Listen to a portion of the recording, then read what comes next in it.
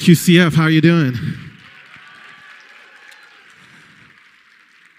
It's always weird hearing your, hearing your bio. You're like, is that me? I don't know who that guy is, actually. so, those of you who don't know who I am, my name is William Matthews. Um, I know because I met some of you and you're like, who are you? I'm like, thank you. I need that humility in my life. Uh, first off, I want to thank uh, Bacola and I want to thank Christopher Dowling for even thinking of me to invite me to this conference. I don't know if they're here right now, but everyone give it up for them.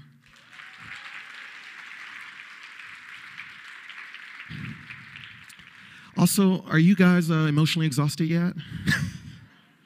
I was talking to some uh, some women in the cafe earlier, and they were like, "I have brain fog." Who said that to me? If you're here, where are you at? Yeah, there you are. Yeah, we were talking about that. Uh, you know, COVID, our brains don't quite they don't feel as elastic as they used to be. Um, a little bit about me, real quick, before we get into the keynote tonight.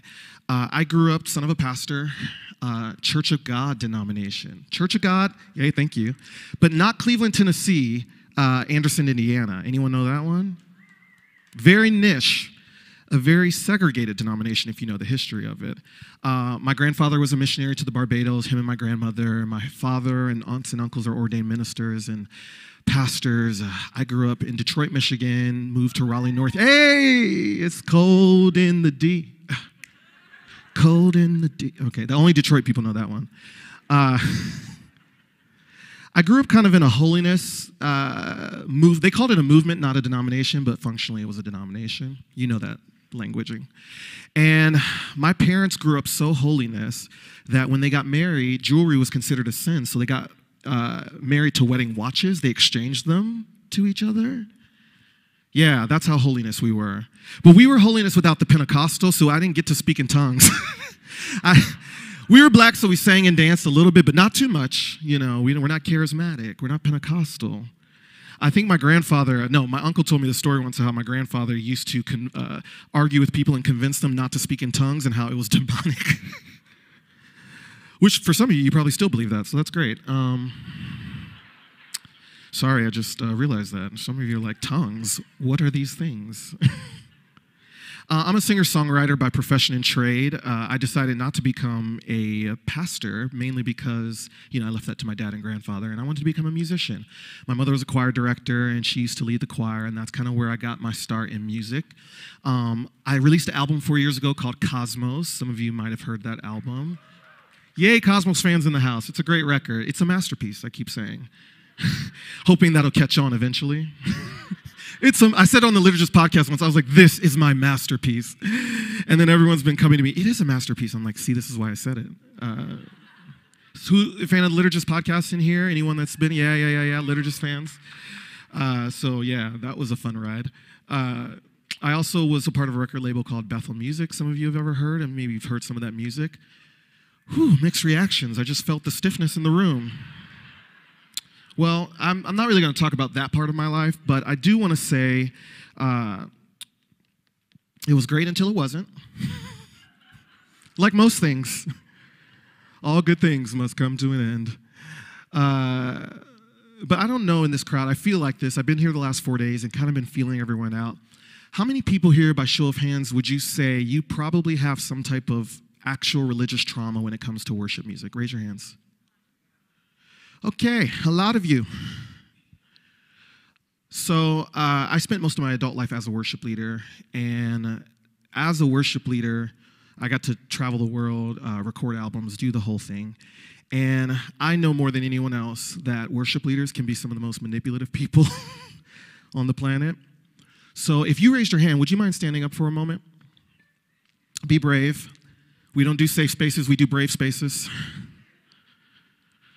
I want to stand in proxy for any worship leader in your life that has ever manipulated you, ever coerced you,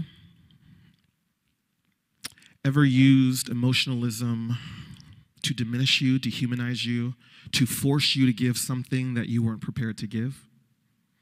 And I want to say that I'm sorry. And I want to say that I'm sorry for my for things that I've done in the past for ways in which I've led to just get a reaction out of you and to not actually honor your process and honor your journey just to make me feel good. Because I know if I sing that one song, I'm going to get your hands up and that makes me feel good, and it's not about what's actually good for you. And I want to own that, actually. And I want to own that to anyone that's ever been to a concert I've done in the past. I'm sorry, y'all. No, actually, they weren't all bad, but like, legitimately, I really am sorry. And I want you to know that part of my reclaiming journey has been to do things like this, but also to find new ways to lead, non coercive ways to lead. And I'm committed to that. And if you ever see me leading and it feels coercive, please come tell me. Um, actually, I want to sing a song over you if that's possible. You don't have to worship, you don't have to lift your hands, you don't even have to sing along. But if you do sing along, great.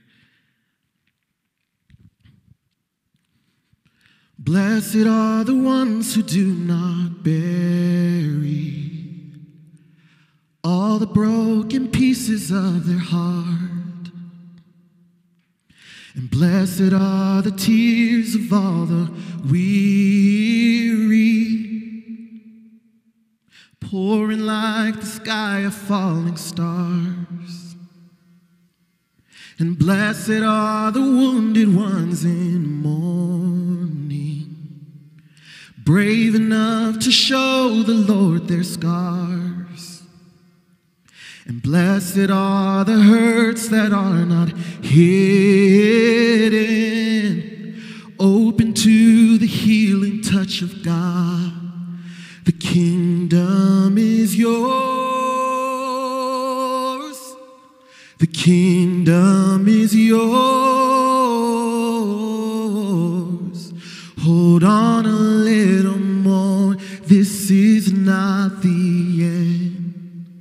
Hope is in the Lord. Keep your eyes on Him. And blessed are the ones who walk in kindness, even in the face of great abuse. And blessed are the deeds that go unnoticed, serving with unguarded gratitude. And blessed are the ones who fight for justice, longing for the coming day of peace. And blessed is the soul that thirsts for righteousness, welcoming the last, the lost, the least, the kingdom. The kingdom is yours. The kingdom is yours. Hold on a little more. This is not the end. Hope is in the Lord. Keep your eyes on Him. The kingdom is yours. The kingdom is yours. Hold on a little more. This is not the end. Hope is in the Lord. Keep your eyes on Him. Cause blessed assurance, Jesus is mine. Oh,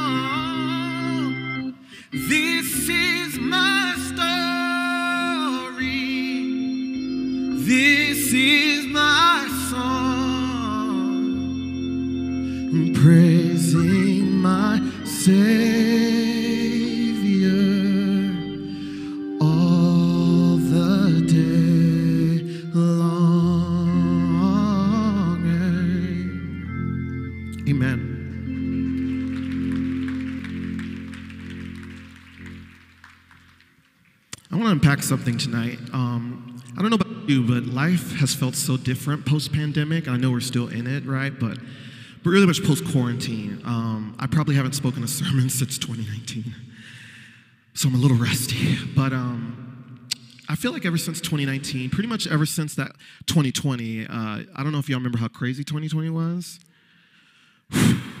y'all. Somebody's like, what happened? Where have you been, sir? Ever since 2020, you know, someone, so many of us got radicalized in 2016, right? You know what I'm talking about. And we began to be very conscious towards justice leading up to 2020. But ever since 2020 uh, and, the, and the George Floyd protests and everything that was going on with COVID and the election, um, I've been yearning again for something that I haven't been able to name. And so, if you guys will give me the freedom for a few minutes this, tonight, I want to try to unpack something. And honestly, I'm feeling at the beginning stages of this, so give me some grace on this. But I feel like God's doing something different. The scripture that I'm using tonight is Ephesians 2 13 through 22. If you could put it up on the screen, I'm going to read it to you. But now in Christ Jesus, you who were once far off have been brought near by the blood of Christ. For he himself is our peace, who has made of us both one and has broken down in his flesh the dividing wall of hostility by abolishing the law of commandments, expressed in ordinances that he might create in himself one new man in place of the two so making peace, and might reconcile us both to God in one body through the cross, thereby killing the hostility. And he came and preached peace to you who were far off, and peace to those who were near. For through him we both have access in one spirit to the Father. So then you are no longer strangers and aliens. I'm going to say that again. So you are no longer strangers and aliens, but you are fellow citizens with the saints and members of the household of God, built on the foundation of apostles and prophets, Christ Jesus himself being the cornerstone, in whom the whole structure being joined together grows in a holy temple in the Lord. In him you also are being built together. I'll say that again. In him you are also be being built together into a dwelling place for God by the Spirit. The title of my uh, message today is called Building Beloved Community. I also like to call it God's BBC.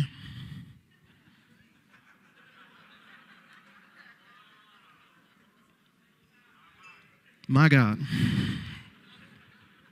Real quick, can I take a side note? I would like to encourage all the uh, gay men in the audience for a moment, um, particularly my white gay brothers, to let Building Beloved Community be the only BBC you reference.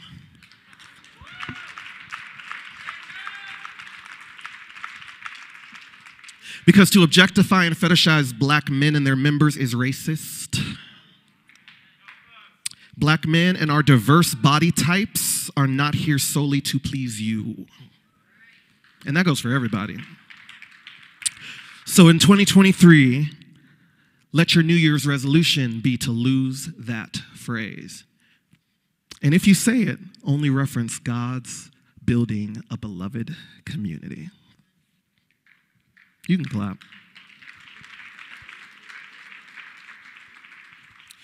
QCF, I believe that the primary purpose of the gospel is to bring every human being into an intimate knowledge of their belovedness.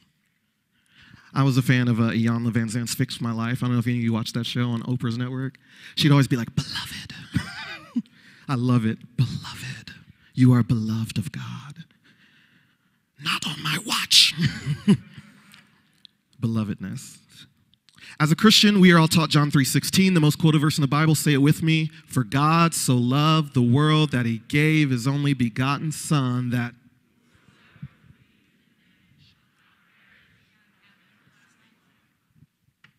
This means that the world and all therein is beloved by God.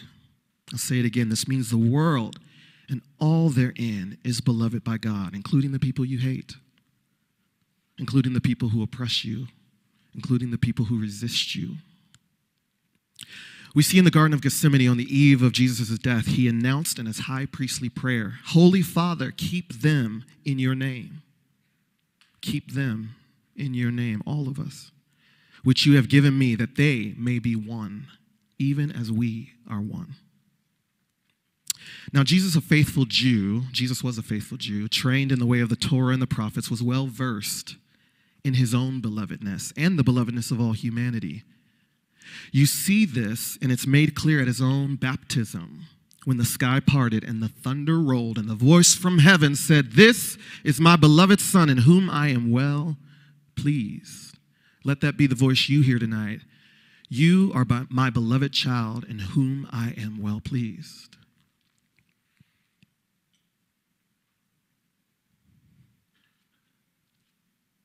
This voice wasn't just alone. This voice didn't come just in a vacuum. It actually came from the, the, Torah, it came from the text, it came from the Psalms. Psalm 18 19 says, He brought me into a broad place. He rescued me because He delighted in me. Or as another version says, He delivered me because He delighted in me. Psalm 149 4 For the Lord takes pleasure in His people, He adorns the humble with salvation. Isaiah 62 4 says, You shall no longer be termed forsaken. Queer people, you shall no longer be termed forsaken. And your land shall no longer be termed desolate, but you shall be called, My delight is in her, and your land married, for the Lord delights in you. Psalm 46 5, one of my favorites. There is a river whose streams make glad the city of our God, a holy habitation of the Most High. God is in the midst of her. And what? Come on. Yes, Bible scholar. See, I'm used to the charismatic space. They kind of know these all on like repeat. It was so easy to lead in that space. It was just very simple. okay, my last one, my personal favorite too, Zephaniah 3:17, which says, "The Lord your God is in your midst, a mighty one who will save. He will rejoice over you with gladness." He will quiet you by his love and he will dance over you with loud singing. Or other translations say, he violently spins over you. God violently spins over you. God is delighted in you. You are God's beloved. I believe that scripture clearly gives us a vision for the beginning and the end of all things. We know the end of the story its belovedness expressed through cohabitation and community. That's where this is headed. We see in the book of Genesis where humanity is placed in a garden. This garden was a place of belonging, friendship, and communion with God and nature. We've divorced that, but it's both. Most importantly, it was a home. Humanity has since left that garden, and yet it seems that this desire for homeness still sticks with us. And it's also a desire I believe we're being led back into home within oneself, home within nature, home with animals, with floral life, with sea and land, and home with relationship with one another. QCF, I'm here to propose to you tonight that the cosmos has a trajectory, that the universe has a moral arc, as Dr. King would say that what started in a garden is ending in a city. I'm going to say that again. What started in a garden is ending in a city, a beloved community that spans the divide of space and time. How do we know this? Revelation 22 21. Then I saw a new heaven and a new earth, for the first heaven and earth had passed away, and the sea was no more. And I saw a holy city a new Jerusalem coming down out of heaven from God, prepared as a bride, adorned for her husband. And I heard a loud voice from the throne saying, Behold, the dwelling place of God is now with man. Behold, the dwelling place of God is now with man. He will dwell with them, and they will be his people. He will dwell with them, and they will be his people. And God himself will be with them as their God. He will wipe away every tear from his eye. You remember that Kirk Franklin song? Every tear. Eh, eh. preach, preacher. And death will be no more. Neither shall there be mourning, nor crying, nor pain anymore, for the former things have what? Passed away. We're going from glory to glory, y'all. From faith to faith, from strength to strength, from grace to grace. The way we are right now will not be who we are. The revelation we have right now will not be what we're walking into. We're moving from glory to glory. We're never a stuck people. We're a people of exodus and exile who are on the move, a people on the move. See, I believe that God takes joy when we love ourselves. 2020 taught me self care. God takes joy when we love ourselves because to love ourselves is to love God. I'm going to say that again. To love ourselves is to love God. I'll quote Iyanla Vanzant again. you are the representative of God in your own life. How you treat you is how you treat God. You are the representative of God in your own life. God also takes joy in our communion with each other, our laughter, the warmth, and the safety of our touch. These acts of love are the tabernacle of praise that God makes God's home in. We are only as attractive as our love for one another. So I believe, beloved, community starts with self care and self love. We have to become full within ourselves before we can invite others into places of rest and communion. I'll say that again. We have to become full within ourselves before we can invite others into places of communion, rest, and belovedness. I believe there are three stages of belovedness acceptance, invitation, and community. I'm going to get Black Church for a moment. Turn to your neighbor and say, Neighbor, I am accepted in the beloved. Turn to another neighbor and say, Neighbor, I am accepted in the beloved. Turn to one more person and say, Neighbor, you are accepted in the beloved. Ooh, all right, y'all. I felt that when you said it. Okay, so many of us know this journey of acceptance. Actually, honestly, if you're here tonight, you are on this journey of acceptance. so many of us know this journey of acceptance because coming to terms with the reality of your unique sexual expression and gender identity requires radical acceptance. It requires radical acceptance of what simply is. Anyone mature and confident in who they are and how they love knows that we must suffer that we suffer most when we deny, ignore, and diminish the plain reality of what's right in front of us. We suffer when we ignore, deny, and diminish the plain reality of what's right in front of us. The truth is, you and all your queer glory are called to live the full human experience in this body, in this time, in this place. Yes, amen to that. The process of humanness is also a process of divine sanctification, in which Christ is working through the processes of our own personal, social, and physical evolutions, bringing us into communion and community with ourselves and one another. How many of you in your lives were brave and took a risk by coming out to friends and family only to be greeted with some version of this? Oh, baby, we already knew. Raise your hand. Yeah, it's okay. Did you feel like the steam was taken out of you a little bit? like you've been working up your whole life to just say who you were, and then they were like, girl, we knew.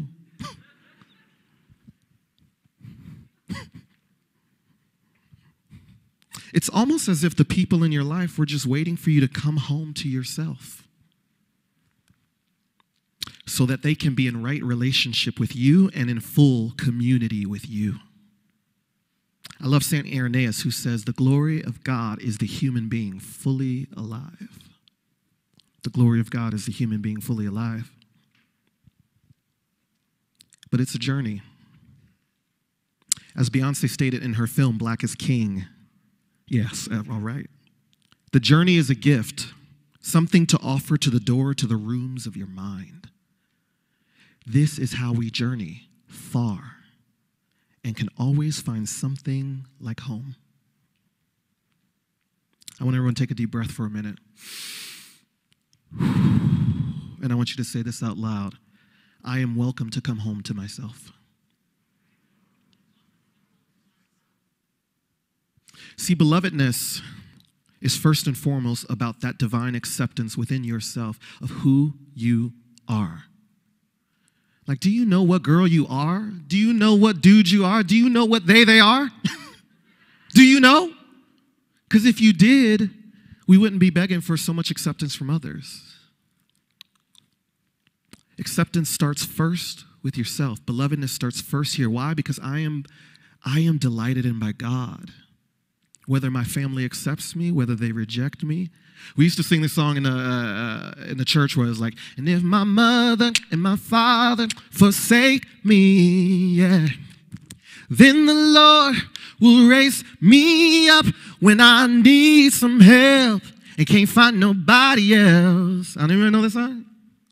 Three, I love it. I'm deep church, y'all. Y'all were like, I don't know that song, you know. I grew up, honestly, even, even in a non affirming space, I grew up with this understanding that my belovedness and my worth was attached to God and not the people around me. Because God is that divine spark that lives inside of each and every one of us that creates delight, pleasure, fun, and belovedness. Because before we can ask others to do anything, to do justice, to walk in mercy, we have to first represent belovedness and extend belovedness to them. Step two, invitation. Turn to your neighbor and say, Neighbor, God is inviting me deeper. Turn to one more neighbor and say, Neighbor, God is inviting you deeper into belovedness.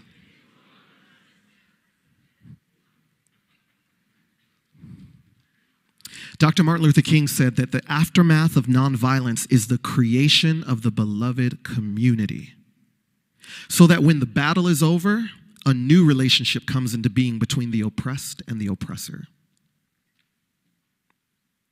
Moving forward, I, I want to define queerness real quick. Um, I'm not defining this, I'm just going to read what dictionary.com said. Because I can't define. Dictionary.com says the word queer means to be strange, odd, from a conventional standpoint unusually different. When I was a kid, I used to read X Men comic books, and one of the comic lines was called The Uncanny X Men. Any X Men fans in here? Yes. Let's pray for uh, uh, Pastor Kevin Feige that he does this right, bringing the X Men into the MCU. Can I get an amen? I believe in him. Lord bless Bishop Feige. Give him the revelation and the wisdom to do the X Men right, because Fox did not.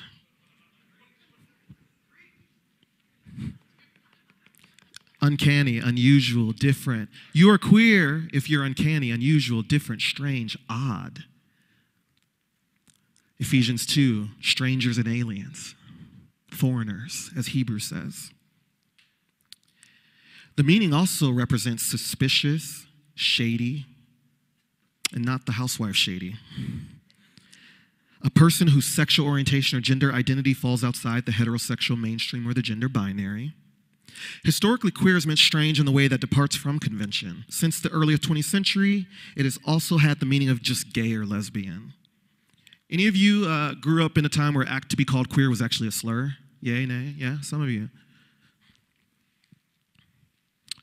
Much of that time, it's been used disparagingly with the intent and perception of being insulting. Since the 1980s, queer has been increasingly adopted, especially among younger members of the gay community, as a positive term of self confidence. Anyone here uses queer positively? I guess you would because you wouldn't be at a conference called Queer Christian. so I'm preaching to the choir. Amen. However, you know, that term is honestly not universally accepted, right? It's not, and that's fine. Same way, you know, certain black people don't mind saying the N word, and some do. Just don't do it as a white person. I'm watching some of you. I see y'all at the hip hop concerts. I'll be watching. Bet not say it. Bet not say it. Queer is also a term used by activists and academics, queer politics, scholar of queer literature. The term has been more recently uh, mean to come into include a person, you know, whose gender, like I said earlier, sexual identity is outside the norm of heterosexuality. And more broadly within academia, to queer, which I actually love that phrase, to queer, can even refer to act of interpreting a text using a non-normative or marginalized perspective. I think this whole weekend, people have been queering the Bible, yeah? And we love it, don't we? We love it.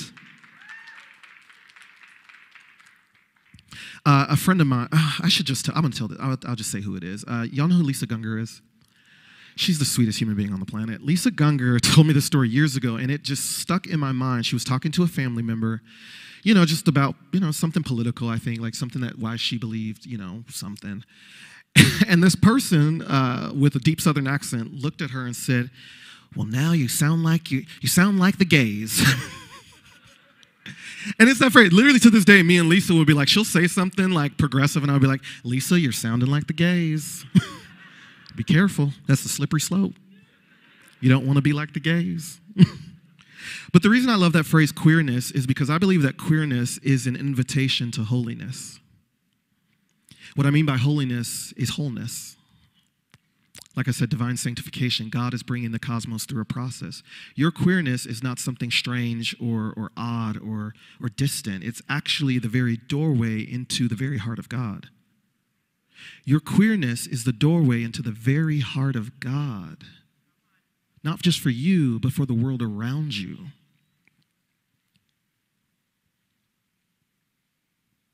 As I said earlier, I don't believe in safe spaces, I believe in brave spaces.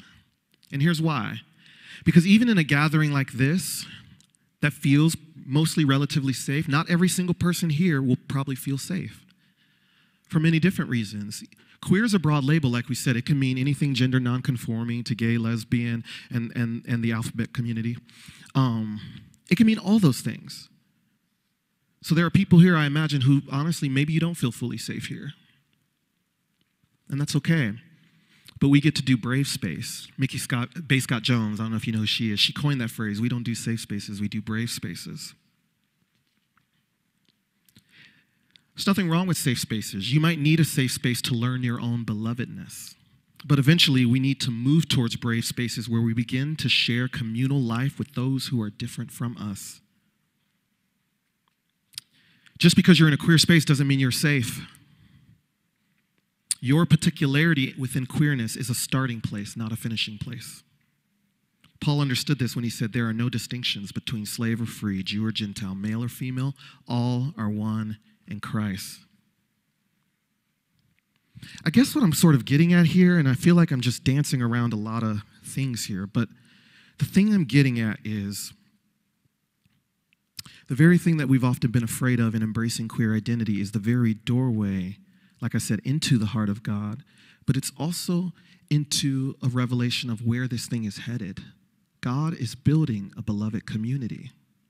For a long time, queer people weren't esteemed as part of that beloved community, but the culture's changing. And even more slowly, the church is changing. So, where is this headed? Is this headed into more safe spaces just for queer people or more safe spaces for black people? Or is it headed into how do we share communal life together? Because I have something to tell you the racists aren't going anywhere. The bigots, they're not necessarily going anywhere. So, the question I have, and it's just a question, knowing that we're moving into beloved community, how do we heal from the trauma of the past? How do we heal from the oppressiveness of what's been done to us? And also figure out a way in that process to begin to share communal life with those who are different from us. And that might be offensive, actually. And maybe in your process in this moment in time, that is offensive because those people hurt you and you want nothing to do with them. I get it. I just had to send a text the other day and said, I don't want nothing to do with those people. I will not show up to your wedding. you create your boundaries, right? I had to do that. Love this person, will not show up to their wedding for various reasons, not because of them. You create your boundaries. And yet I feel challenged, even in my own particularity, to say, where is this thing headed? More safety or more braveness? As Christians, I don't think we get to quite choose that. if you're not a Christian, fine. But I think as Christians, we don't get to choose whether we believe in reconciliation or not. As Christians, I don't know if we get to choose whether we believe in forgiveness or not. As Christians, I don't know if we get to choose whether redemption is a thing or not. I'm not saying it has to happen in a particular time frame because this thing is cosmic. We got time, baby. We got time. And some of this will be generational. Some of this healing and reconciliation and work will be generational. We're not going to heal racism in a generation. We're not going to heal homophobia in a generation. It'll probably take two or three. But where are we going? What's the telos here? Where are we moving? George Floyd happened, and where are we moving? Matthew Shepard happened how many years ago, and where are we moving to? Where are we going, y'all?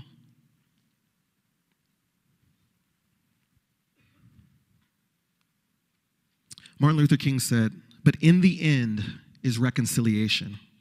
In the end is reconciliation. The end is redemption. The end is the creation of the beloved community. It is this type of spirit and this type of love that can transform opposers and oppressors into friends. This type of love that I stress here is not eros or a sort of aesthetic or romantic love, but a phileo, not phileo, a sort, a sort of reciprocal love between personal friends, but it is agape, which is understanding goodwill for all men. It is an overflowing love which seeks nothing in return. It is the love of God working in lives of all men. This, Martin Luther King said, is the love that may very well be the salvation of civilization. So, as queer people, any marginalized person, you've been given a gift. You have been given entryway, the first entryway into the doorway of wholeness, of cosmic reconciliation, of cosmic belovedness.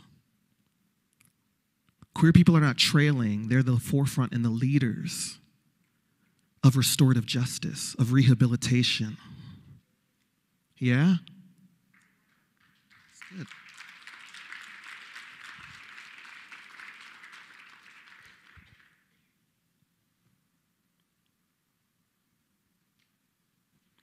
I believe that queer identity is the very thing in our society, excuse me, I believe that queer identity, the very thing in our society that carries so much stigma and shame, can be our entryway into our own belovedness and God's beloved community. In fact, the reason there is stigma and shame regarding traditionally marginalized identities is because the revelation of our unique differentiation within humanity forces those around us to learn how to live with their own differentiation. You got to understand to be queer means you're a witness, you're a signpost, you're a miracle. You're somebody else's miracle because when you show up fully yourself, like I said, the glory of God is the human being fully alive. When you show up fully yourself, you open the door for other peoples to be fully alive. You open the door for other people to wrestle with their own humanity, with their own inhumanity, with their own apathy, with their own hate, with their own prejudice, with their own bigotry. You showing up as yourself, fully beloved in your spaces, brings the kingdom of heaven, which is what? This other reality of belovedness coming to earth. This unity, this cosmic unity coming, flowing through in all of us. Simply put, highlighting our racial, sexual, and class differences doesn't create division. It deepens our connections and bonds with each other, strengthening and uniting our shared humanness. Y'all, we have been living in a culture war that has been telling us to bring up issues of race, class, and sexism as Marxists. It's, uh, what, what are the other ones they say? so, somebody said it, sorry. Critical race theory, wokeness, what do they call it now, right? They just keep changing the vernacular, the woke mind virus, whatever. Like it's ridiculous, y'all. Y'all know it's ridiculous. But the reason they do this thing is because they're refusing to face their own humanity. But you're a signpost, you're a sign and a wonder. You're a revelation of a future reality that has yet to be made manifest here on this earth. Yeah. Y'all got to learn to clap for yourselves because listen, they're not to give it to you. The world will not give it to you. You clap for yourself. You support yourself. You are beloved. Yeah. Because We have to become that embodiment, right? And, and so much of capitalism and white supremacist culture abstract us away. And, you know, we even come to conferences like this, sit at nice tables and take in abstract information. But the truth of our reality is embodiment.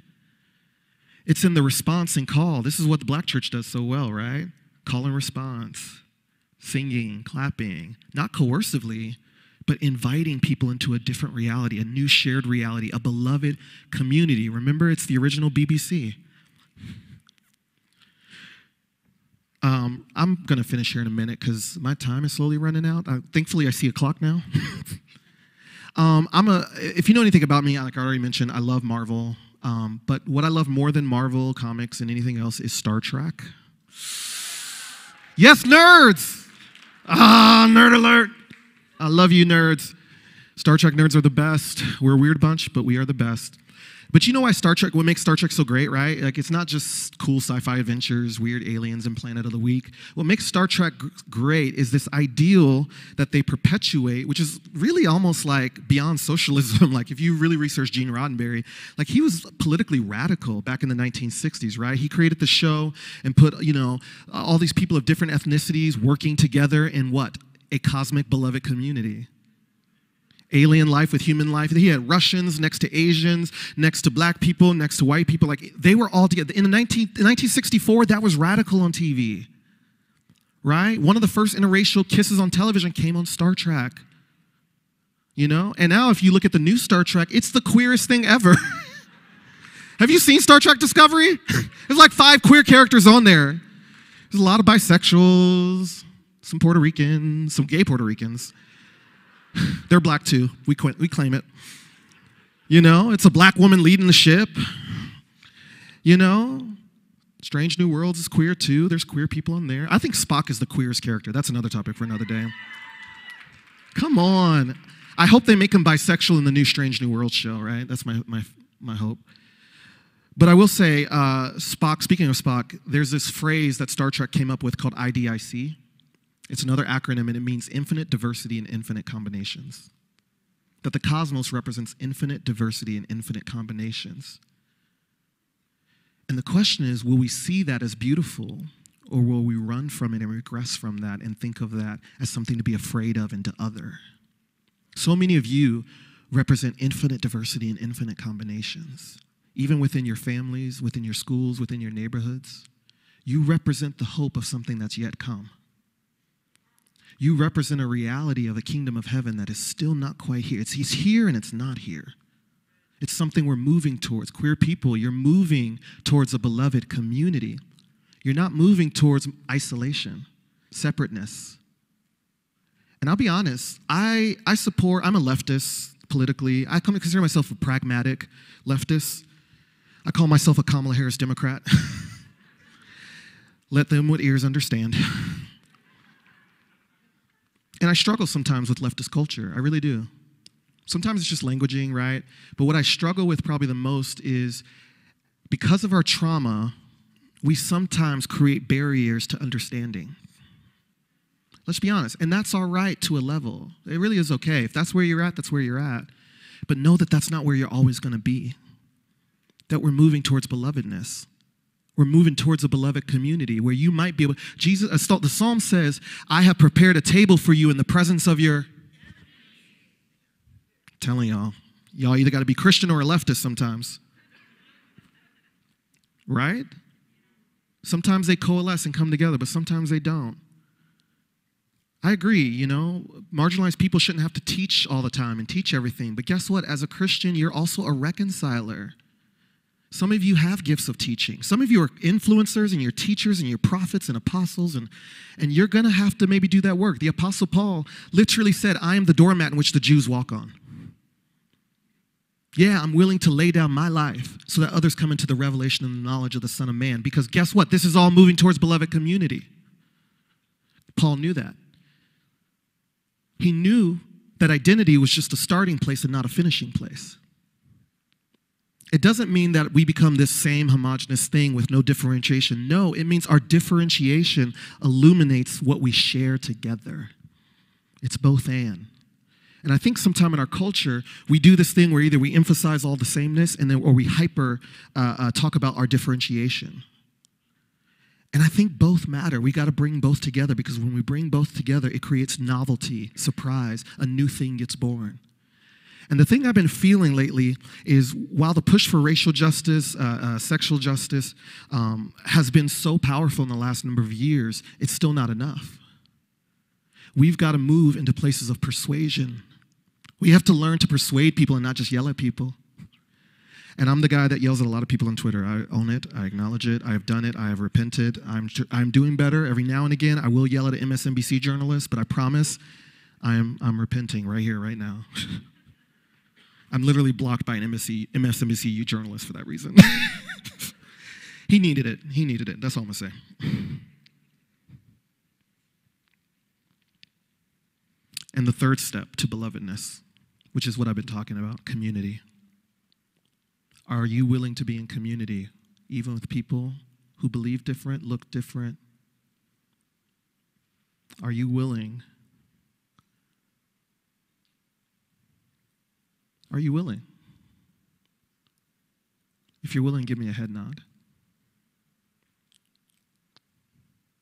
So, my prayer tonight, and my prayer moving forward in the years to come, because this is a, a decades thing, my prayer is that all of us here tonight will begin to ask tough questions of each other. That we do interrogate identity and queerness and, and what that means in the world, but we do it to bring in beloved community. And we do it not to isolate and not to stigmatize even our own selves, but we do it to usher in a new reality that people of all races, tribes, and tongues, Revelation 4, right? Every nation, tribe, and tongue on the sea of glass, worshiping whether that's literal or metaphorical, I really don't know. But I know that there's this vision that I can't let go of, and it's the vision of building beloved community. Thank you.